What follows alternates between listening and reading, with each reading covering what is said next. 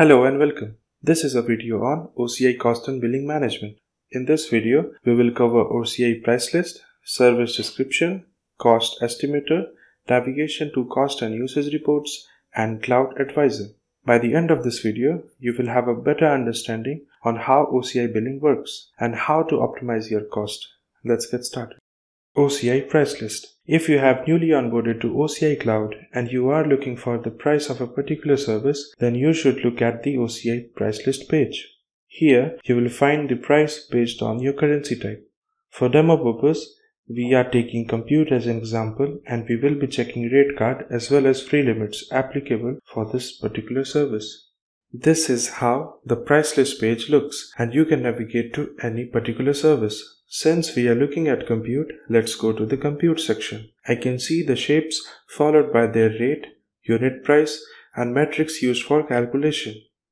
If we navigate to this page, we can see the notes that tell if there are any free tier limits for the particular service. It says the first 3000 OCPU hours and 18000 GB per month is free for A1 shape. And for more details, you can refer to this page if there are any free tier limits applicable. If you have opted for annual subscription, then this rate card might differ. These are the standard rates which you can refer from OCI price list page. For more information, please check the links mentioned in video description. After you see the rate card, if you want to know how a particular metric in a service is calculated, you need to refer to the service description document. From the service description document, you can look for the rate card of OCPU per hour. It gives clear explanation on its rate per hour and how it is calculated. If you are searching for a particular service, you can search for it. For example, there is a compute section here where you will find all the information related to compute, including part number followed by the calculation metrics. For more information, see the video description. Cost Estimator now, if you want to estimate a cost for a particular resource, then you have to use the cost estimator tool. Here, you can select the currency type. Please check the video description for the related video and documentation links. Navigation to cost and usage reports.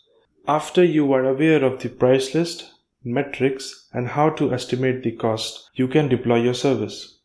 To validate your actual cost, you need to navigate to OCI Cost Management. Then click on the cost and usage reports. Here you can see multiple reports for a particular day. The reports which are reflecting here are for previous day usage. So if you want to view the cost report, then it should be in this format. If you are referring to the usage, then it should be in this format. The difference between the usage and cost is that usage report shows the usage part, whereas the cost shows the usage as well as the price for the usage of the resource. Download this report to view the usage cost for the particular day or a set of hours.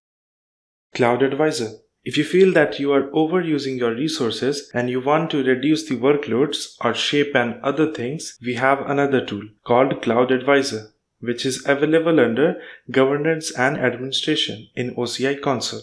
It is optional to follow the recommendations provided by Cloud Advisor to save your costs. For more information, please refer the documentation links mentioned in the video description. Thanks for watching. Hope this video was helpful.